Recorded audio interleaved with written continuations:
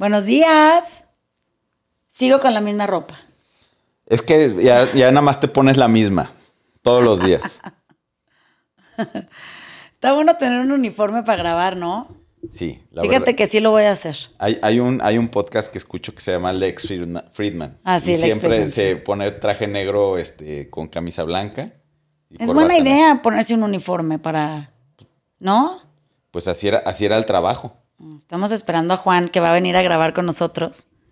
Y vamos a hacer uno cortito, Ale y yo, que, que, que tiene, que, en donde tenemos cosas que sí podríamos discutir, porque pues los dos hemos sido este, producto de, de lo que dice este post. Ya ven que venimos leyendo cosas que publica Luciano y haciendo reflexión al respecto. Entonces, este es bueno. Esto que vamos a leer hoy está bueno. Y lo vamos a hacer menos largo porque como nomás estamos Ale y yo, podemos este, crear una conversación más eficiente. Vamos a ver qué tal funciona. Entonces, fíjense, dice el post. La pareja a la que más le cuesta la separación es aquella en que menos hubo. Y luego dice, es la pareja que no cuenta con el amor para separarse, que no cuenta con que el amor mismo se ocupe de la separación y entonces el acto queda a cargo de una voluntad que es muy impotente. Y fíjense, esto es muy interesante. Lo vivido con otro deja una huella. Lo hecho de a dos hace que para cuando ocurra la separación ya sea mucho del otro lo que hay en uno. Pero ¿cómo separarse de lo que no dejó marca? ¿Cómo separarse del vacío? ¿Cómo separarse de lo que no nos queda del otro? Entonces, vamos a pensar que cuando leí esto, me quedé muy inquieta porque de lo que de las de las parejas, novios de, la- adolescencia, de la adultez, lo que sea, ¿no? Matrimonios, todo. De lo que más se, me se me dificultó separarme es de lo que menos huella dejó. Totalmente cierto. Y de lo que más fácil me resultó separarme es de lo que más huella dejó. Eso quiere decir de, de donde más contenido, relación, eh, intercambio, experiencias hubo. Como que el amor sí, sí se ocupó de la separación. Y fue grata, fue amable, amigable. Fue como una, una cosa como muy festiva. Nos quedamos siendo amigos incluso, hasta la fecha. Pero se me, se me hizo muy difícil la separación en donde menos contenido o lazos o, o- o circunstancias memorables hubo. Porque y esa pregunta es muy dura, ¿no? ¿Cómo separarse del vacío? de lo que no sucede o no hubo o no, o no, o no estaba. O sea, ¿de qué te separas de la nada? De la expectativa. Es que de eso, eh, igual y es eso, que eso, esa aspiración de lo que pudiera ser una, una relación, Sí. este, siempre va a ser más complicada quitarte de encima que, que lo que sí fue. Sí. Pero qué duro, ¿eh? Mira, no, no, no crees que no. Sí me costó cuando lo guardé, porque voy guardando. Luciano sube muchos posts y guardo algunos que son, que son este, buenos para crear una discusión, una conversación y otros que me sirven a mí de recordatorio de cosas. Y ese, la verdad, lo guardé para mí, porque yo, yo siempre tenía la duda de por qué me había costado tanto trabajo separarme de ciertas relaciones que había tenido, largas. Y, y, y por qué no en otras, ¿no? Y, y yo lo veía al revés. Yo dije, bueno, pues claro, me costó menos, o se me hizo más fácil, vamos a ponerlo de, de esta manera, más fácil separarme en donde menos hubo. Como que lo- así lo pensaba yo, como que, ay, pues porque me valía madre, no me Sí. importaba y no. Y me, y me ha costado mucho trabajo separarme de en donde más hubo, pero es al revés. Y hoy lo entiendo, o sea, me cuesta mucho o me costó mucho separarme de las, de las, de aquellas relaciones en donde en realidad no había nada. Porque Pero- ¿cómo te separas de la nada? Pero a ver, yo, yo cuando, cuando leíste eso entendí algo tal vez que no, no era así, pero que en una relación uno se puede ir fácil y el otro anda batallando. No. O sea, dice que la separación es muy sencilla cuando ya hay mucho de ti en mí y mucho de mí en ti, y entonces hay algo de que separarse. Ujú. ¿Sí me explicó? O sea, Ya. Ajá. Pero cuando no hay nada de ti en mí ni de mí en ti, ¿de qué te separas? Pero, pero puede haber que haya mucho de ti en mí, pero de mí en ti no. No. O sea, eso. No, pues no, es como, es como tratar de, este, de establecer que tú fuiste pareja de un perro. bueno, pero puede O sea, ser que de- uno de- estaba más este, abierto que el otro. No, porque fíjate cómo piensa en tus relaciones más largas o en las más torturadas. Sí. Eh, eh, tuvimos una, nosotros en nuestro caso, cada quien tuvo una en su época de universidad, ¿no? Que eran relaciones largas, que empezamos como eh, muy jóvenes, que fueron las primeras veces de muchas cosas, así, ¿no? Como que estas, estas relaciones que están como establecidas, como importantes en No, no, nuestras y, vidas, y ¿no? en mi caso fue una terminación muy tortuosa. La mía también, pero a mí siempre me, yo decía, pero qué raro que fuera tan torturada, pero también entiendo que no, yo no, no había nada de qué separarse.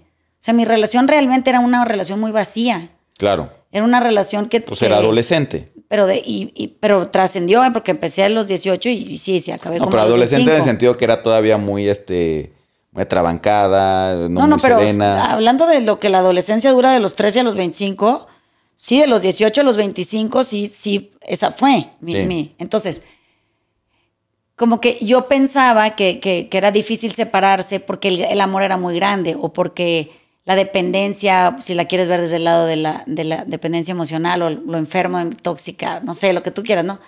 Pero cuando leí esto, dije, claro, o sea, es, es como de los padres, ¿no? Es muy fácil separarse de los padres, fíjate. Porque hay algo de que separarse. Sí, porque- claro. Porque te- hay una huella muy poderosa de, de- de ti en mí, de mí en ti, cuando eres la madre o el padre con los hijos. Y entonces la separación es amorosa, es muy festiva, hay como, como un mucho entusiasmo, quieres que le vaya bien, todo eso, ¿no?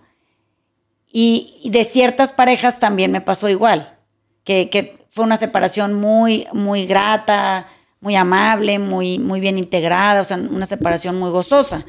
Del- y seguimos cercanos hasta la fecha. Pero hay gente de la que no. Y decía yo, bueno, pero entonces aquí qué habrá pasado si yo tengo tantos referentes de buenas relaciones.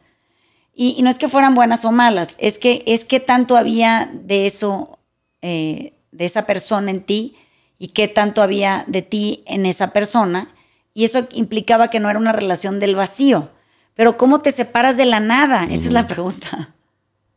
O sea, las Sí. relaciones más dificultosas de ponerles terminación o de separación o de distanciamiento, según lo que estamos leyendo y que creo que coincido completamente, es, es- son relaciones en donde no había absolutamente nada. Y por eso batallas tanto, porque es como quererte ir de una casa que no existe. Sí. ¿De qué te vas? O sea, ¿cómo? Pero en según tú sí existe, pero no existe. Entonces, ¿de qué te vas? ¿Cómo No, te y, y sales? peor aún, porque igual y tú las contextualizaste como algo muy profundo y algo este, esencial para ti. Y pues también darte cuenta que tal vez no lo fue tanto, Pues te digo. pues sí está medio cabrón. Pero eso, ese, ese golpe de realidad es interesante, ¿no? O sea, quien, quien esté oyendo esto y está medio sufriendo como nosotros sufríamos, de, de, de por qué no podíamos soltar esa relación y regresábamos al vacío regresábamos al vacío.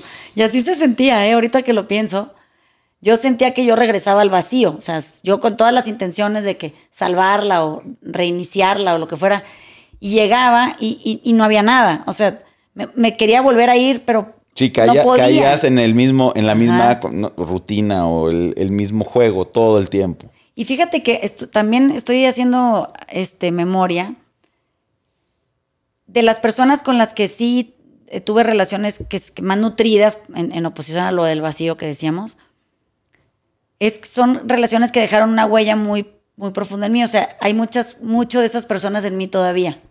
De, de las buenas. Sí, entonces Sí. por eso separarme fue fácil, porque me los llevo conmigo. Claro. puedo, puedo, puedo hacer esa decisión y siguen en mí, ¿no? Es como el de nuestros papás, creo que ahí el símil funciona. De, de- de la nada, no te llevas nada, entonces no te puedes ir.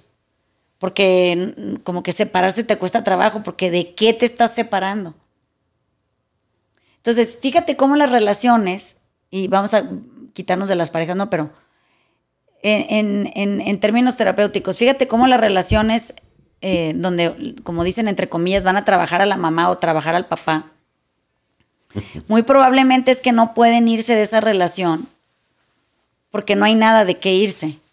O sea, porque el, trabajo de, deficiente, digamos, del padre o la madre, pues fue tal, fue deficiente, no estuvo, no hubo. Y, fíjate cómo es, es, difícil cuando la gente se quiere separar del padre ausente. Imposible. Y, pero duran toda una vida haciendo el trabajo.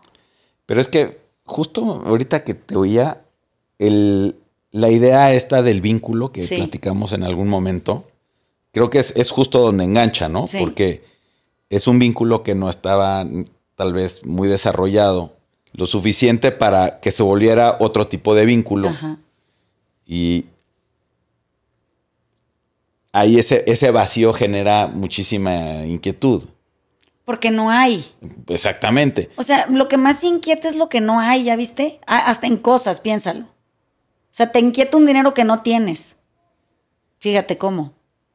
O te inquieta una, una vida que no estás viviendo. Sí, o una relación que no tienes. O sea, el vacío ese. Y no te puedes ir. ¿Ya te fijaste? O sea, regresas a la idea otra vez y una y otra vez y otra vez. Como que no, no podemos pasar, digamos, a la siguiente cosa. ¿Pero qué será eso? ¿Que no, simplemente no podemos otra vez vivir en la incertidumbre? Eh, creo que es más que eso, o sea, creo que es como este anhelo atravesado de algo que podrías tener pero no tienes, o que podría haber sucedido pero no sucedió. Mm.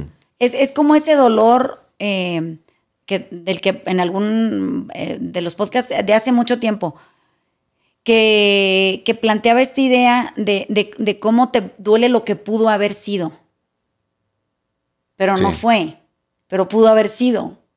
Entonces, es, con, es una cosa increíble, ese es el vacío. O sea, el vacío es lo que pudo haber sido y no fue, lo que pudiste haber tenido pero no tienes, lo que, lo que, lo que estuvo en otro lado pero no para ti, lo que, o sea, esa idea de, abundancia, pero en otra parte, que, en una relación de pareja es lo mismo, hay una abundancia en otro lado, no, no hay contigo en donde estás tú.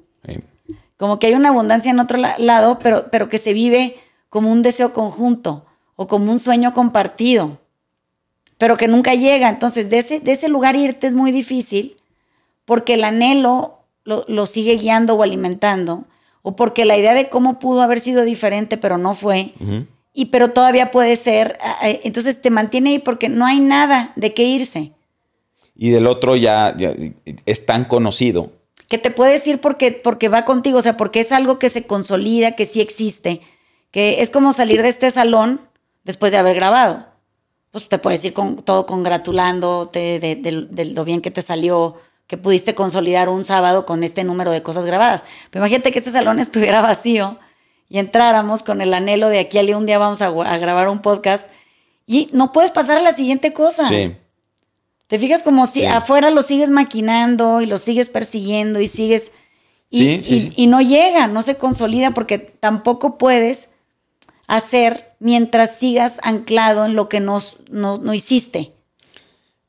Es que eso es, es cuando tú ya lo hiciste, o sea, cuando lo dejaste todo en la cancha, como dicen en los pues deportes, te puedes ir con la cabeza en alto. Sí. Es, creo que es lo mismo en una relación. Y no es de que hiciste todo lo que pudiste para, para la relación, sino tuviste una conexión profunda. Sí, dejó, ahí lo dice, dejó güey en ti. Así es. Eh, piénsalo en el, en el caso de Messi, ¿no? En el Barcelona, que, o sea, como que se puede ir al Miami sin, sin sentir que tiene que regresar o sin sentir que fue un, fracaso o que ese distanciamiento le costó mucho trabajo porque había algo de qué irse, ¿no? Y, se puede despedir y todo eso es, muy grato.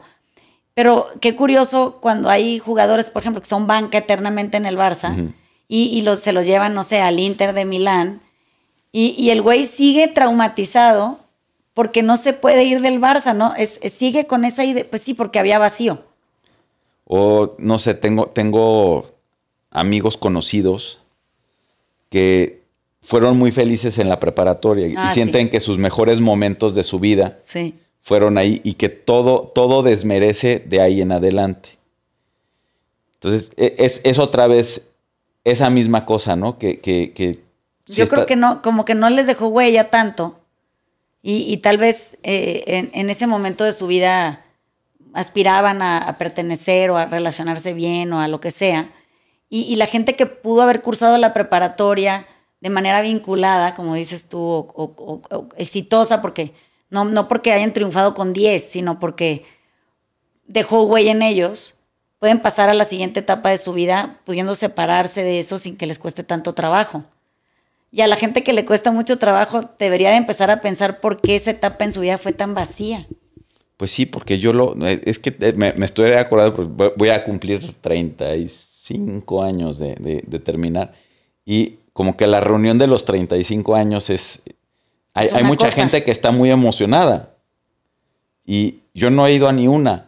Y me siento a veces un poco mal, que no me importe tanto, pero pues la verdad es que me vale madre. Pero es porque te, creo que en- en- to- tomando en cuenta el post de Luciano, es porque te pudiste separar de algo que sí fue, que sí existió, que sí nutrió, que sí, que sí marcó, que sí. No, y aparte fui muy feliz en la prepa. Ajá, por eso te digo, es, es, es curioso. Y, y creo que sí, si lo, si lo, si soy muy honesta, de mis relaciones más complicadas, digamos en cuanto a, a contenido, es de las que más difícil me fue separarme, pero fíjate que cuando lo logré, sí me di cuenta que no había nada que, que, que- que hacer ahí.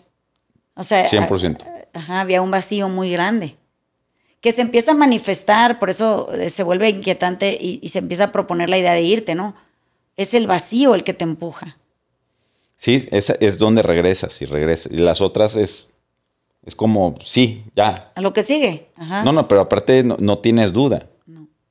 Pero en la que es vacía, vacía, vacía, siempre estás con la duda de si igual y tú eres el vacío y, te faltó poner o, o pusiste de más y luego en un arrebato lo quitaste. O sea, como que no, no, hay, no hay una claridad en cuanto al contenido de la relación.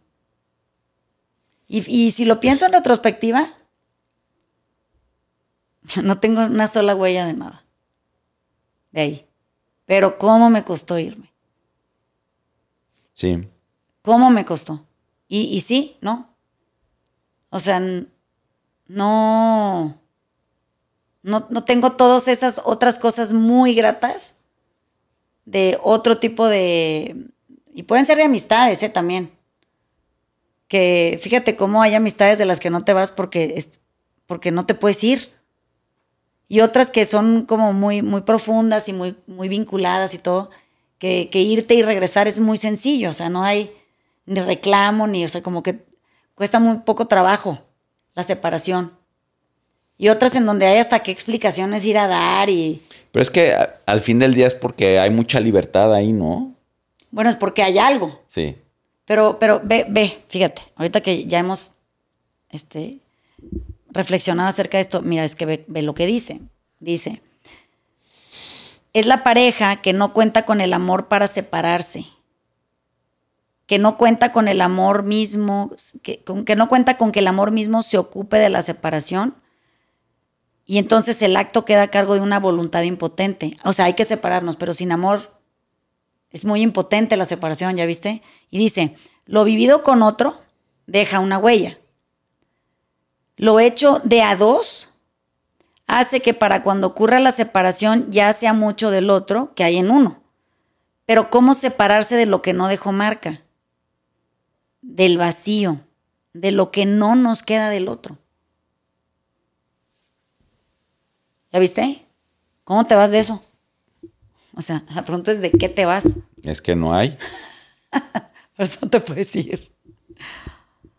Porque no se hizo de a dos, no hay un... Pero, pero a ver, es que eh, ese no hay. Tú lo tienes que llenar de algo, ¿no? O sea, tú en tu cabeza para que te haga sentido. Pero fíjate, de que tú, cuando te separaste, ¿de qué te separaste? Yo del vacío. No había nada. O sea, es, eso estaba... e- Eso y nada era lo mismo. Y Sí. yo no podía con la idea de que no hubiera algo ahí. O sea, ¿cómo no va a haber nada? Esa era mi pregunta. Tanto tiempo invertido, ¿cómo no va a haber nada? Tiene que haber algo. Pero, pero al mismo tiempo el vacío te, te, expulsa. O sea, el vacío es el que te saca de ahí. Y entonces, cuando tú quieres ir a regresar y decir, bueno, ¿de qué me voy a separar? Me quiero separar de, no sé, piénsalo en términos este, eh, ingratos, ¿no? No, pues que del abuso, que del no sé qué, que del no sé cuál, que de la no sé qué. Pero no lo encuentras, o sea, porque no hay huella, nada dejó huella en ti. Sí, porque te iba a decir de qué te separas, pues de, del, de las expectativas, de, del deber ser, de de muchas cosas que no necesariamente eran muy constructivas. Pero no tiene nada que ver con la otra persona, esas. No, no, no, son, autoimpuestas.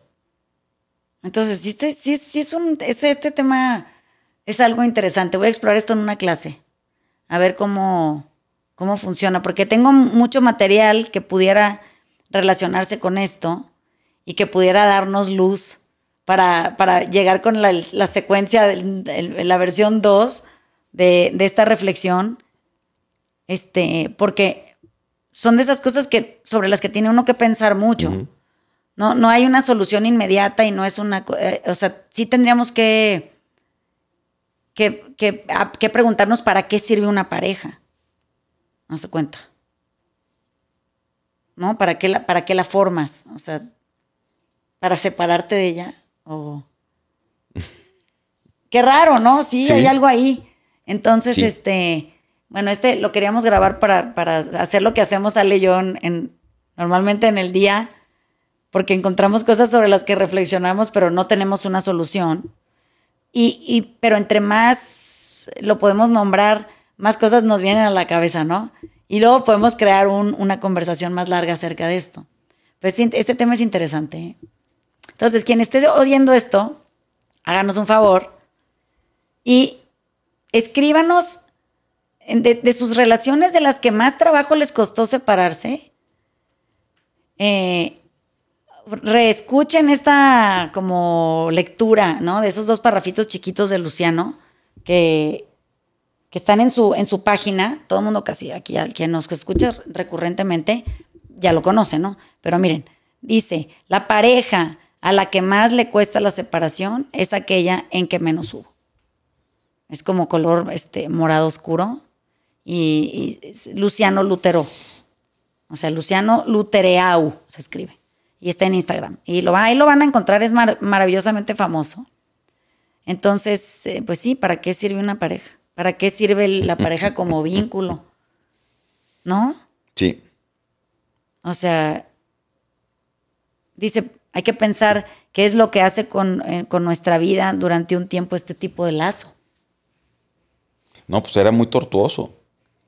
Pues no sé, el, mío de la, de la universidad sí fue una cosa que, que, que, pues que todavía hasta la fecha me, hace reflexionar mucho qué había ahí.